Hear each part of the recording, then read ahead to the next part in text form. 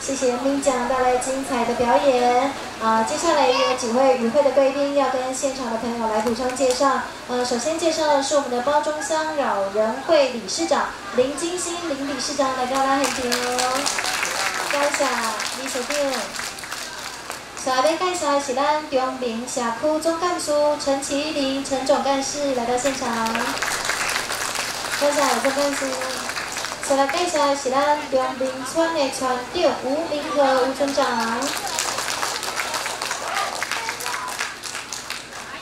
谢谢，感谢。好，好歌一首接一首。刚才稍早呢，是我们二胡手咪讲的时间。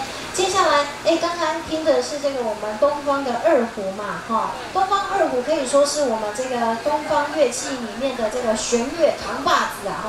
头一个第顶第一个上困难的乐器就是二胡。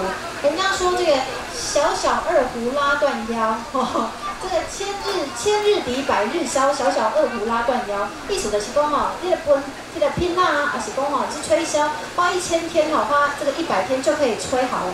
但是哈，你如果要学会这个二胡哈，这个可能把你的腰拉断都不一定拉得好。所以大家可以看得出来哈，我们的这个刚才我们的咪讲老师是真的哈，在我们这个乐器上面下了非常非常多的苦功哦。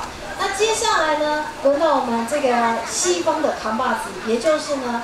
小提琴了哈，西方乐器里面最贵最贵的不是大提琴哦，不是那个体积越大的越贵哦，哈，是小提琴最贵哦，哈。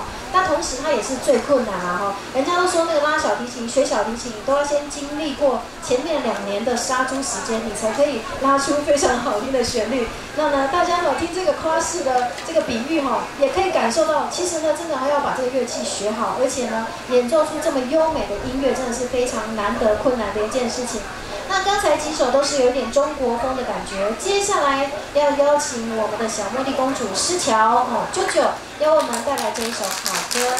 好，谢谢大家你好，其实也是一个祝福的寓意要送给大家。当中一日之计在于晨，最美好的就是那个破晓时刻，所以我们接下来就要送给大家这一首破晓。